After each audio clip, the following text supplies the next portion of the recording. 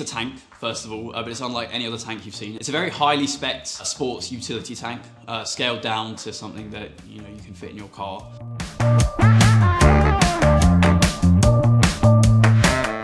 So my name's Cam Knighton. I'm one of the co-founders here at Xtreme RC, along with my business partner Luke Simpson. Uh, we both met at university where we studied mechanical engineering. Uh, towards the end of our course, uh, we discovered one of the US uh, military patents, which was the Howe and Howe Ripsaw.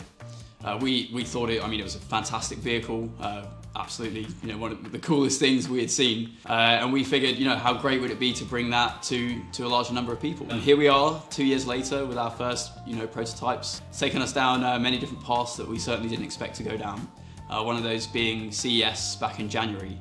Had a fantastic show, three days non-stop talking, absolutely knackered by the end of it. But the end result was that we had a whole bunch of industry interest. One of the avenues we're exploring at the moment is private security. Um, we're going to have cameras and LiDAR, having them self-driving, patrolling building perimeters, uh, where hopefully we can expect to uh, see a lot more interest. Hopefully it's a very fun and exciting platform that a lot of people can have fun with.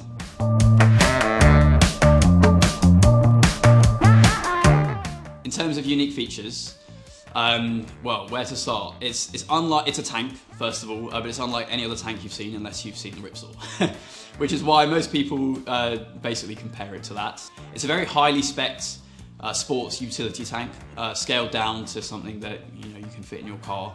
Um, the end result of which is that we've got a very robust platform which has attracted the interest of many customers, industry and consumers uh, to run you through a couple of specs. First of which, it will do 40 miles an hour, which seems to surprise a couple of people. Uh, so yeah, it will do 40 miles an hour. It weighs around 22 kilos. It's amphibious. It will carry a payload of 40 kilos. Uh, the end result of which is that we've got quite a robust platform. Uh, you know, for, for a wide range of applications, uh, you know, to have fun with mainly, uh, but for industry, you know, you can put countless things on it, from cameras to uh, various different scanning equipment. Currently trying to target two different sectors, one being our industry customers and other just your everyday consumers. We are still working very hard trying to get uh, various different concepts to our industry customers. Uh, we've already shipped a few vehicles to certain, certain companies in the States, um, which we're very excited about.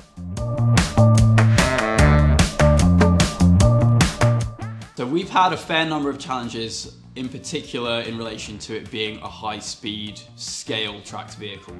Uh, you know, when you're looking at the Ripsaw, um, that's a full size vehicle doing 40 to 60 mile an hour. Uh, we're pretty close to those speeds, but at one fifth the size. So trying to keep those tracks on is a big challenge. Um, it's been the main focus of development with the vehicle over the last couple of years. Um, the whole the whole design is totally unique from the ground up.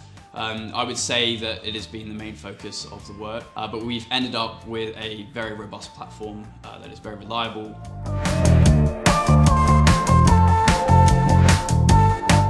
The Solid Solutions Startup Program has been absolutely key to starting the business. There's no way we could have afforded two full-blown SolidWorks licenses when we were just in the design, initial design stages of our product.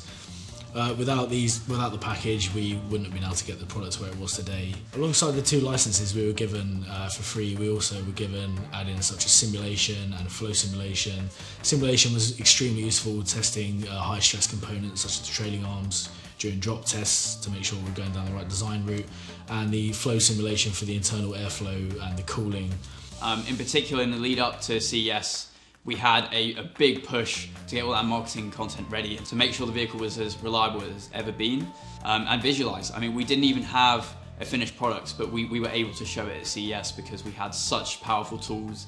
We could get right in, up and close to the vehicle, really show all the details we wanted to. So um, yeah, great, great add-ins, really powerful. We would not have a product where it is today without this software. Now the business is at a different stage and we can afford to move on to the full-blown um, commercial software, but it is, it is pretty much kickstarted our business from scratch.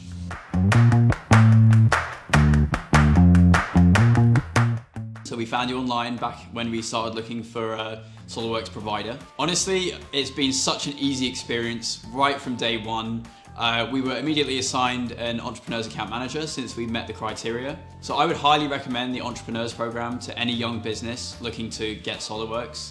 It has been absolutely critical for us. You know, we at right at the start with a limited budget, having come straight out, out of university, it, they make the process just so easy.